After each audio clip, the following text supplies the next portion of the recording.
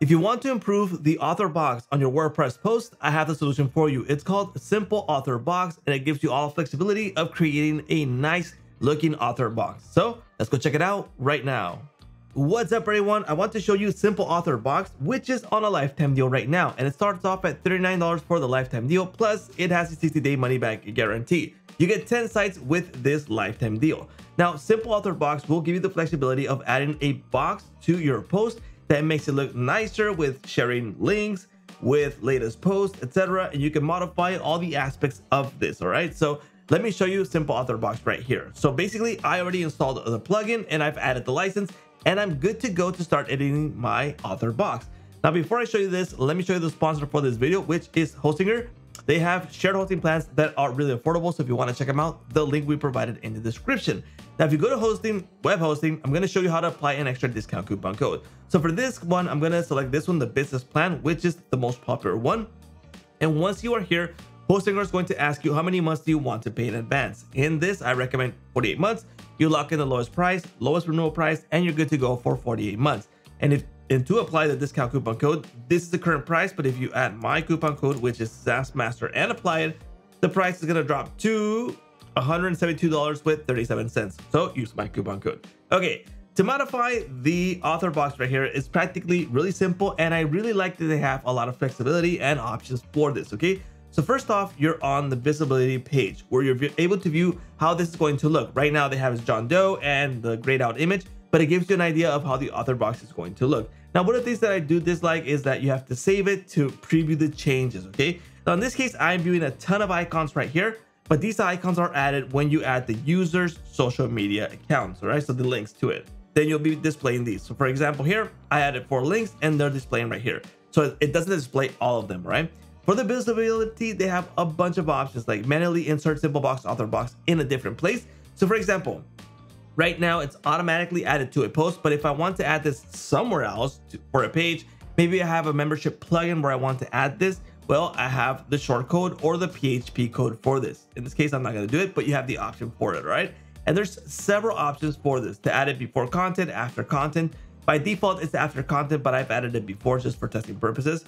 And a lot of more options here. So I wanted to apply to post only, not the rest of the pages. Show author box on categories and tags. In this case, no, but you have the option there. And you can use the custom biography here, all right? So save settings and this will update, okay? So that's for the visibility options. Then you have your elements. So in elements, you can display the author email. In this case, I don't want to do that. You can display social icons in a new tab, which I think is a good idea because you want them to stay on your page and go to social media also, right? And hide the social icons on author box. So if you want to hide them th totally, just go ahead and enable this and it'll, they'll go away. Even if you have the links over here on the user, okay? Next, you have the appearance settings. So you got your margins for here for outside the box and inside the box. I recommend uh, you tweak these, the top and the bottom one. For example, I've added 21 pixels for the bottom one because it was really close to the actual content. Now that's just for testing purposes, okay? Then you got your avatar image size. So the size for this 100 pixels for now, but you, you can change that. Now you can see that it's like cut out because I've selected the fancy one, but you can change it to ellipse, square, circles, speed, etc. It also moves. You can rotate effect for the hover on, which I'll enable that. Show author website. So in this case, no, but you can enable that also. And you got a lot of options right here. You can even change the background image so it doesn't look plain and simple right here. So you can add something really nice there, maybe some gradients, maybe uh, an image that has to do with the page which is always a good idea, right? And some other options like rotate effects and social icon hover over, the use flat long shadow effects. Now I'm, I'm gonna turn that off because I didn't like it. So there's a little shadow effect right here, which I think is too harsh in my opinion. They should add a way to reduce that, right? So I'm gonna save this for now.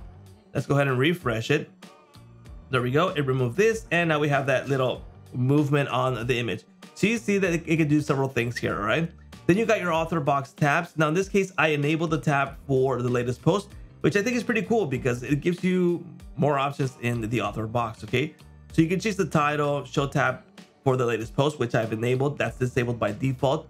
The title for that, you can see um, latest deals eh, or latest post, whatever you want to add there, and your color settings, okay? And even custom HTML.